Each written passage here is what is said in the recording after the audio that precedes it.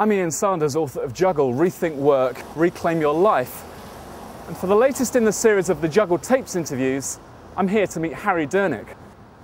Now, Harry actually started his career in the US Air Force, flying jets in Vietnam. But he's had a very distinguished career in drinks marketing, working with brands like Budweiser, Gallo Wines, Sol Beer, and most recently was CEO of Red Bull, where he transformed the company, creating a brand now that everyone knows about. He now juggles a business portfolio that includes working with a technology startup, a carbonated drinks company, plus he's even got a farm in Suffolk where he farms livestock. I'm going to go and meet him and find out how he manages to juggle all that. So, Harry, thanks for joining me today. You come a long way from Chicago and the US Air Force through drinks marketing through to, through to where you are now. Through all that career, I'm really interested to know, have you, have you had a, back, a big plan? Was there kind of this strategy or is it kind of, you made it up as you went along? Um, you know, life is kind of like a flower, uh, like a rose. It just opens and you, it just unfolds. And no, I haven't had a plan. I mean, I have, I've had dreams right. and ambitions and, and, uh, and concepts of where I want it, but no, no, no absolute plans. No, sure. Um, and I, I, think it's been more exciting and more fun that way. Yeah, no, absolutely. The goals have been important though, because goals, you're obviously yeah. very focused to, to achieve the success you've had, and the, yeah. the goals help. Goals are important. I mean, uh, in the beginning, I, you know, I wanted to fly airplanes. That's all I ever wanted to do uh, since I since the age of about six. And uh, so when the opportunity came, I went out and took some private lessons, and then I got into. I realized how expensive it was, and and also the kind of equipment you could fly. And so I joined the Air Force, or I went into uh, the Air Force ROTC program at university. And you spent some time in Vietnam? I did. Um, I had uh, two all expenses paid trips, um, and uh, it was uh, it was really enlightening. It was it was it was something that really a foundation. Um, I, I, don't know what else you could say about it. Would I do it again? No. Am I glad I did it? Yeah. Sure. One of those. Yeah, yeah, yeah. Fantastic. And what about drinks? Because beverages, whether wine, beer, carbonated drinks, Red Bull. I mean, that's you know that's always been part of your DNA. I mean, that's always yeah. I, it was it was about. funny, but I, I, never you know I never thought about getting into drinks. Um, when I in the Air Force, it soon became apparent to me that you know war was not a long term business um, that that I wanted to be in, and uh, and so I got out. And when I got out, I was kind of stumped. So I said, I'm going to go to school, go back to school. So I went to graduate school. Right. And I got an MBA in marketing and finance. Okay. And uh, during that time, um, I opened my eyes. I took lots of different interviews, and the one that really appealed to me was this was Anheuser Busch. Had a great little career. Brought out a brand called Bud Light. Uh, I was the brand manager. Really, the brand manager is August Busch. I was his assistant. It was really wow. exciting to get involved that way. And uh, but in the middle of it, I realized that I was probably more valuable in other places, and I got headhunted and uh, went out and met Ernest Gallo, and uh, he and I. Um, really liked each other. So uh, I went to work out there. It is interesting that I was working in, businesses that were dominated by this family, by right. these families. So first of all, it was it was Busch, um, and then the Gallos. Uh, although one was public corporation, the other was private. Um, it was really interesting. You get a real feel for the for the uh, uh, rhythm of the business sure. and where it, you know where it's going and the history of it. It's only been now five years, six years into business and the opportunity came to come over to Europe to work for Bud, Budweiser again. And uh, I thought, you know, why not? Mm.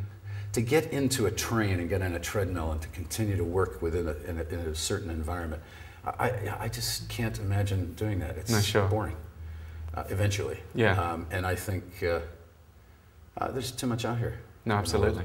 So you moved on to other things. You came to Europe. Yeah. And, and one of the next big brands you were involved with was, amongst others, was, was Sol Beer. Yeah, after I, when I came over here with Budweiser, and, uh, and after about five years, uh, August and I got into a, uh, a, disagreement, and he fired me. And so at that time, I said, do I stay here or do I go back to the States? And uh, by that time, I was in love with this girl here and decided to stay and uh, bought a business. Mm. And in that business was a brand called Sol Beer. And uh, I had seen how Corona had marketed themselves in the United States, obviously, and just had a feel that this was right. And it was. And uh, it became a real phenomenon. Sure. With the lime in it. It was, uh, it was a lot of fun.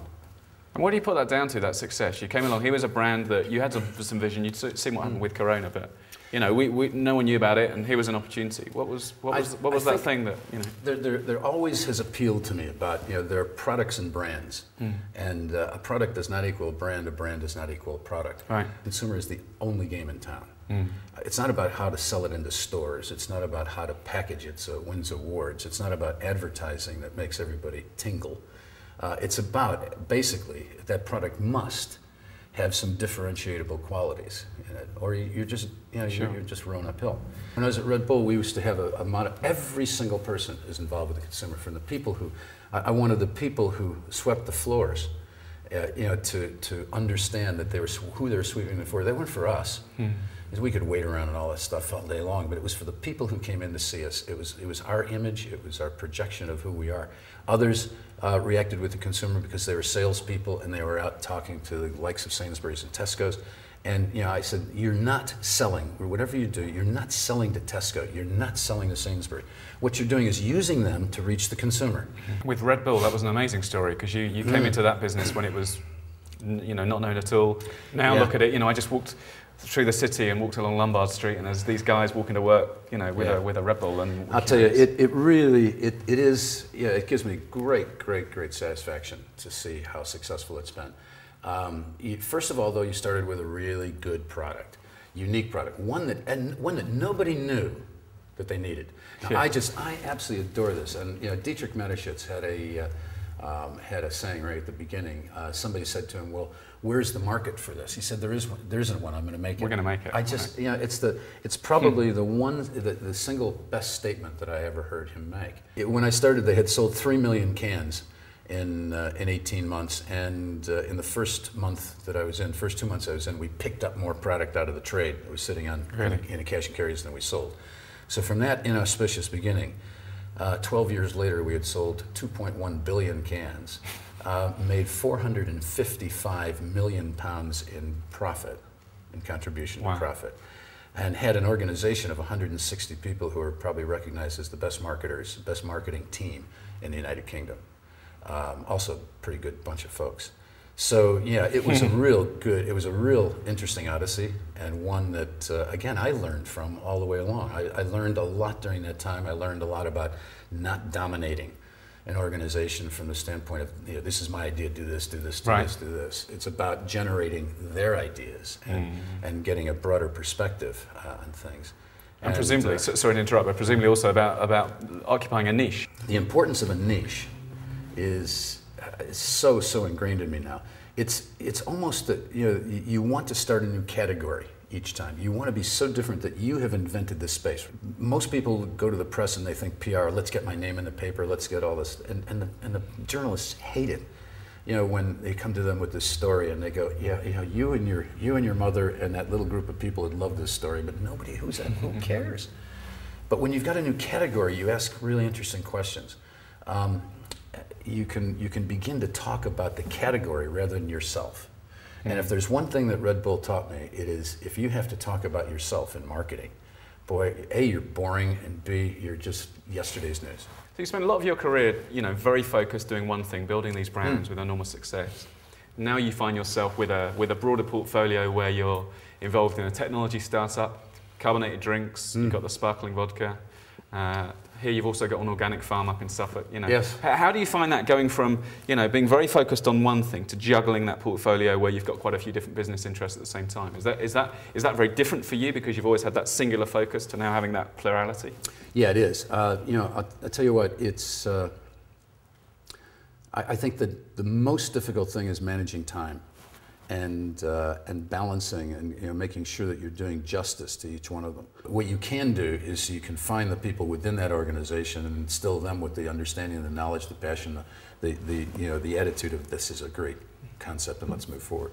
Um, so yeah, I, I, find, I find it uh, it's fascinating. I, I like the, the, the, variable nature of what I do now. Um, and, I, and I like the, you know, it, just because I've been in drinks all my life doesn't mean that, uh, that I, can't, um, I can't have a, a good business feeling for cars. I mean, I'm consulting with Nissan in India. Wow. Uh, they're introducing, uh, they're, they're building a factory in 2010. It'll be complete, and they're about to enter into India the first time. I think the other thing is, you know, there's a recession out there, and I Mm. think people that mix things up and have a lot more, you know, multi-dimensional talents Yeah. are going to be, you know, going to be more enterprising. Because whatever the pessimism is, and I, th- I think in this market, I'd be interested to know what you think. Mm. You know, good ideas still prevail. You know, if you've got a good business idea, and maybe if you've got more than one skill set and more than one talent in your in your toolbox, Yep. by the very nature, you're going to be more, you know, more enterprising. I think recessions are when uh, are when big ideas and good ideas are best. Uh, you know, when you start something new, you don't need everybody to jump in and buy your product. You need first of all one, and then five, and ten, Sure. and twenty, and fifty, and you need to pay attention to those small groups, and you you need to build from inside. Um, that's the only time you can take to put that attention is during a recession. and what about the organic farming? Is that a, is that a hobby or is that a business? I, I, I- you know, over time, I have discovered how to make a small fortune in farming. We've got kids. We decided, hey, look, we're going to do some farm. What are we going to do? Well, we're going to do rare breeds because there's no, you know, I can't get into business with the big guys. I can't do what they do, and that's one thing that uh, that's one thing that I really did learn all the way down the line. Um, you can't get ahead by following what other people have done. And I used to, you know, say, you know, if, if you're behind somebody and you do exactly what they do, how do you get ahead of them? You've got to do something different. Get out of the slipstream in order to get around them. We got uh, we got special breed cattle, um, Herefords, uh, Red Angus. Uh, I was yes, I was raising Red Bulls, um, and uh, and then we did. Uh, we've got Saddleback um, pigs and uh, Berkshire. Now, the Berkshire pig. There's only 400 Berkshire pigs in the world. Um, yeah, I mean it's it's really kind of kind of fun, um, and uh, we've got some special sheep, and you know we call the farm E-I-E-I-O. Do you ever get frustrated and think, like, you're going back to the farm tomorrow and think, you know what, I'm going to wipe the slate of everything else and I'm just going to do this? You know? Well, yeah, I, and a couple of a couple of times I really do, but you know then I've got some fairly you know just like in the businesses, these businesses I'm working at, um, you know there are people that work on that farm every day, including my wife. Really? who, yeah, she's the farmer now, and uh, you know she's a city kid as well. She's taken to it really incredibly well.